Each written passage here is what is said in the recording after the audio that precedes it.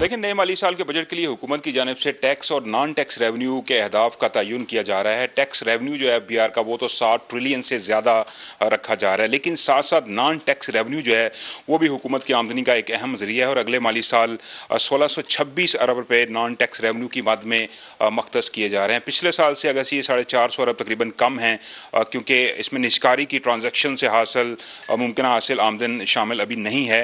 अहम बात यह है कि जो पेट्रोलियम डेवलपमेंट लेवी है, उसको बहाल करने की तजवीज़ है अगले माली साल आवाम से। इस मद में पाँच सौ अट्ठावन अरब रुपये वसूल किए जाएँगे, पेट्रोलियम लेवी और एल पी जी लेवी की मद में। साथ साथ स्टेट बैंक का मुनाफा है, दो सौ अरब रुपये उससे हासिल होंगे। गैस डेवलपमेंट सरचार्ज है उससे चालीस अरब और बजट में डिविडेंड और सूद से दो सौ पैंतालीस अरब और साथ साथ तेल और गैस की रॉयल्टी एक सौ सोलह अरब और इसके साथ पासपोर्ट फ़ीस की मद में पैंतीस अरब रुपये ये वो तमाम नॉन टैक्स रेवन्यूज हैं जिसके जिससे हुकूमत को आमदनी होगी। और साथ ये भी बताया गया है कि दीगर नॉन टैक्स जराए से अठानवे अरब रुपये हासिल होंगे। अगर अगले माली साल निचकारी के हवाले से कोई पेशरफ हुई, कोई अच्छी ट्रांजेक्शन हो गई तो उससे भी हुकूमत को आमदन होगी और नॉन टैक्स रेवन्यू जो है, उसमें मज़ीद इजाफे का इम्कान है। जी।